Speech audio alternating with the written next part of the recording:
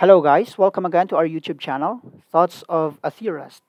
Last time we discussed the insights or the basics of density functional theory and how it is used for the calculation of the properties of atoms and molecules. Today we're going to discuss nanomaterials, which uses density functional theory and as we know, nanomaterials are very useful materials that is in the field of material science and this is actually one of the most widely studied nowadays. This is direct applications on nanoelectronic devices and so on. Nanomaterials are actually materials that are few atoms thick. There are many nanomaterials that we know. We have the quasi one-dimensional materials, we have the two-dimensional materials, and so on. Now, to put this into perspective, suppose we imagine an ant. The ant is actually approximately 5 million nanometers long.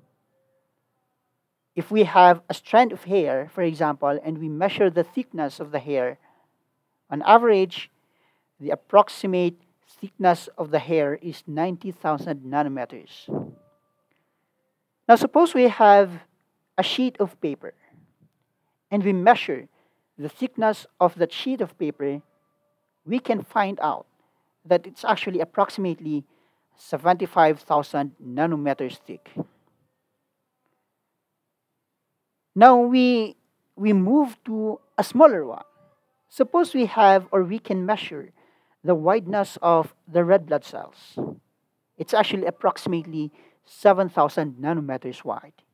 In the DNA or our deoxyribonucleic acid, it's actually approximately 2.5 nanometers wide.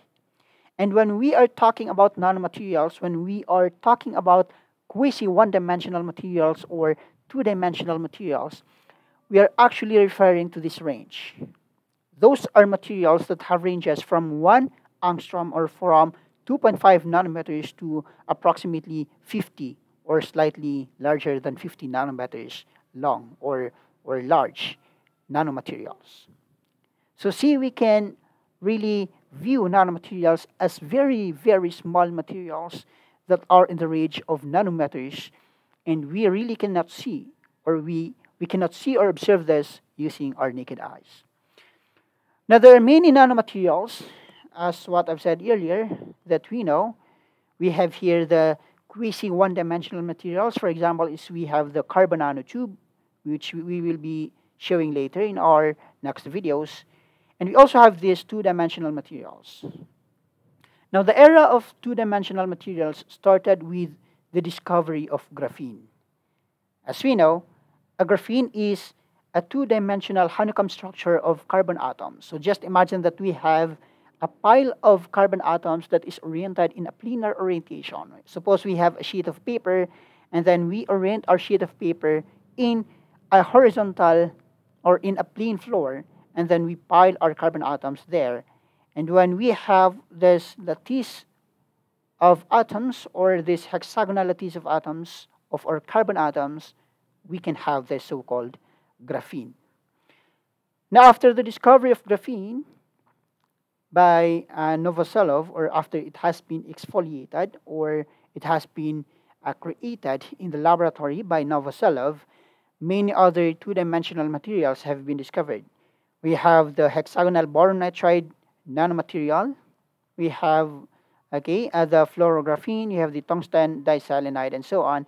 And these are very nice nanomaterials because they have direct applications on devices, on nanoelectronic devices, on, on, on gas sensing, and so on. For example, if we have a silicene, which is a two-dimensional honeycomb structure of silicon atoms, as we know, the carbon atom in the periodic table and the silicon are uh, both located in the same group, which means that they have similar properties. And because of the discovery of graphene, the scientists have thought that maybe there is an analog of graphene called silicene, which is a two-dimensional honeycomb structure of silicon atoms. And it has been found out that they are right. No? There really is a silicene. And graphene and silicene have been proven in experiments or in and computations that they really are very nice gas storage uh, materials. They can sense gases. So, for example, we have this uh, gases, carbon gases or hydrogen gases in the atmosphere. Carbon, uh, graphene, and silicene can really detect those gases.